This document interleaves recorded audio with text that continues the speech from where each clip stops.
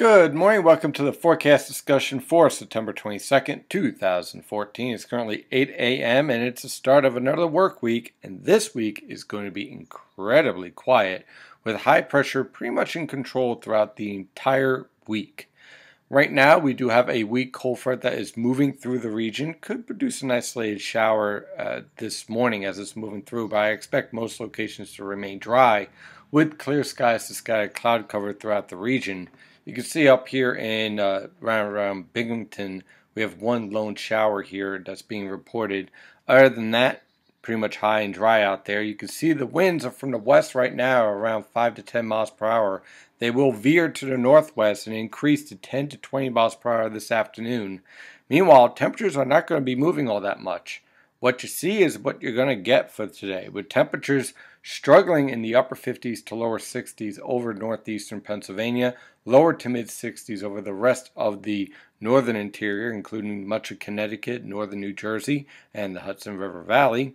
Meanwhile, over the Philadelphia and New York City metropolitan area, temperatures will range from the mid to upper 60s for highs this afternoon. A few locations could break 70 degrees, like let's say in uh, Philadelphia or in immediate Newark where you have more concrete, so it's a little bit warmer. Other than that, it's going to be a breezy, cool day this afternoon with clear skies and winds around 10 to 20 miles per hour. And it's going to feel cooler too with that wind. So let's say you get to 67, but it feels more like 62 or 59. So definitely a cool day on the way. You can see on the surface map that secondary cold front is approaching the region. Again, I can't rule out an extremely isolated shower, but most locations will remain dry with this frontal passage. And then this high pressure system that's over the plains will pretty much remain in control all the way through next weekend with clear skies, light to variable winds once we get through this afternoon, and temperatures averaging below normal to start the week near normal by the time we get towards the end of the week. There's a chance we end up with above normal temperatures. I know the GFS MOS guidance is showing that. However, I have my doubts on that and I'll show you why.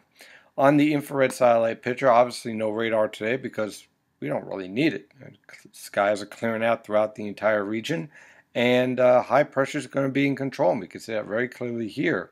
On the water vapor satellite picture, a nice deep trough is basically set up over much of the eastern United States. This trough will remain in place for the next two days. And then you see all this developing out here in the Pacific. What we're going to develop over the next several days is what's called a zonal pattern, where the jet stream basically moves from the Pacific to the Atlantic right along the Canadian border. And what that typically means is that warm temperatures stay to the south, cold temperatures stay to the north, and we're pretty much in a temperate zone where we end up with temperatures pretty much averaging near normal. The only question is, where does the high pressure system set up? And that is going to be a key factor in the forecast of temperatures over the next several days.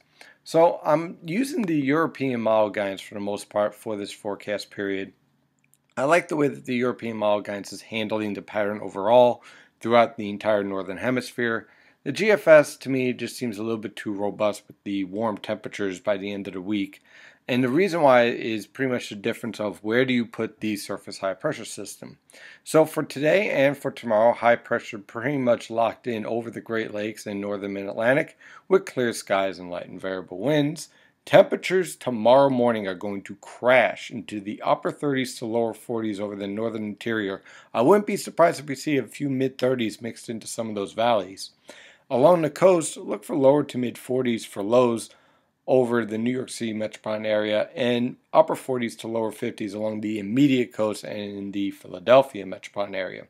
High temperatures on Tuesday afternoon, tomorrow afternoon.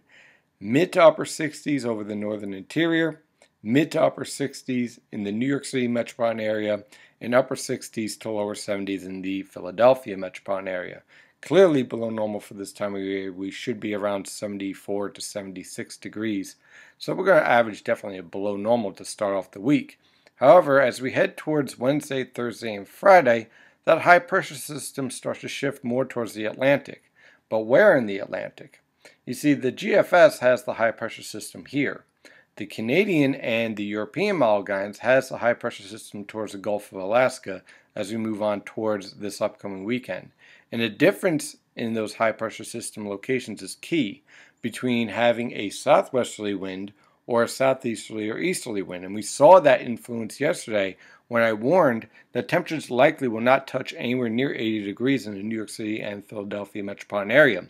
And in fact, they didn't. They stayed in the lower to mid 70s over the New York City metropolitan area and mid to upper 70s in the Philadelphia metropolitan area. The only place to hit 80 degrees was in east central Pennsylvania, basically from Allentown down to Lancaster, where we had a com- combination of perfect area of convergence and confluence, basically sinking air, clear skies, and you ended up with warmer temperatures.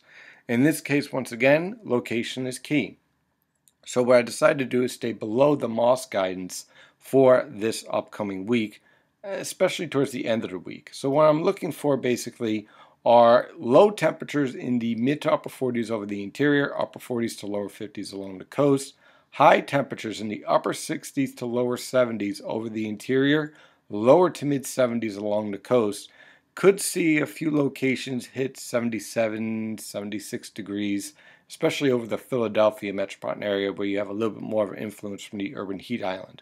But overall, I'm staying below the 80 degree temperature that is being forecast for this upcoming weekend for Saturday and Sunday. I don't think that's going to happen at this time based on where the high pressure system will lock in. That is your forecast discussion for today. Of course, I'm your meteorologist, Stephen DiMartino. Follow the latest weather information at nynjpaweather.com and nynjpaweather on Twitter, Facebook, Google, and LinkedIn. Have a wonderful day, and as always, stay safe out there.